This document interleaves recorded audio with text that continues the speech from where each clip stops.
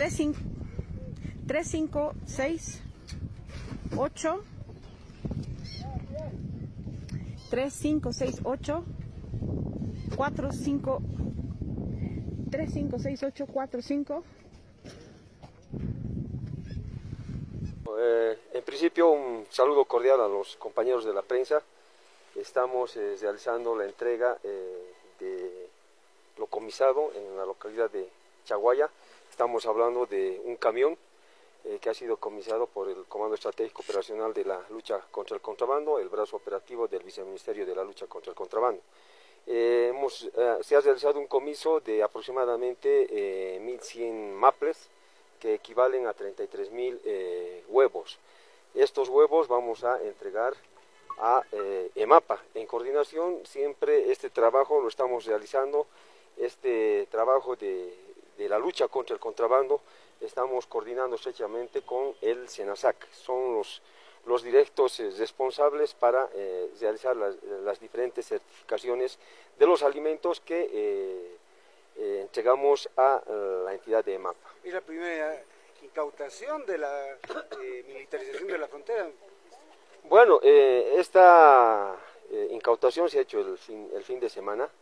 Bueno, como ustedes muy bien saben, el Comando Estratégico Operacional de la Lucha contra el Contrabando realiza su trabajo los siete días de la semana y las 24 horas. Estamos constantemente doblegando esfuerzos en la línea de frontera. Eh, de acuerdo a la eh, orden de nuestro hermano presidente, capitán general de las Fuerzas Armadas, estamos realizando la militarización de las fronteras. ¿Hacia dónde se dirigía este camión y en qué circunstancias le interceptó? Bueno, este camión ha sido interceptado en Chaguaya, ¿no? Eh, Puerto Acosta estaba saliendo al Perú.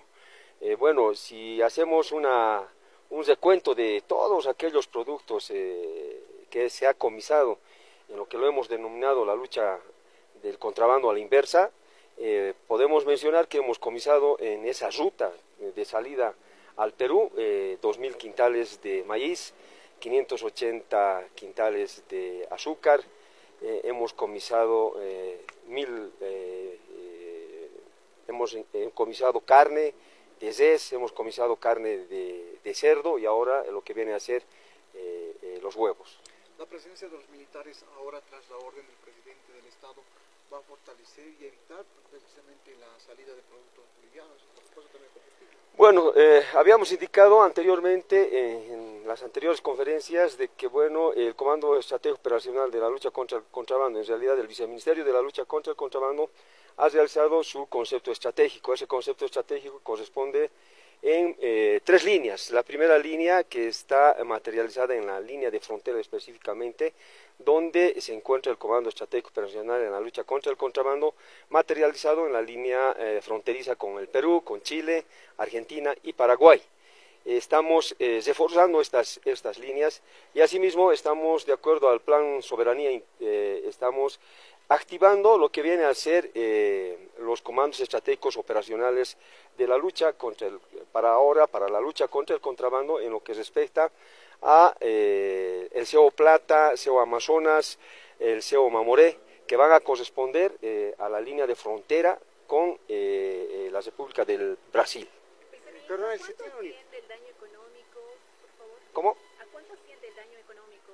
Bueno, eh, en el anterior eh, habíamos indicado en, en, las, eh, en, los tres días, en las últimas semanas, hemos eh, afectado al, al, contrabando en aproximadamente un millón de bolivianos.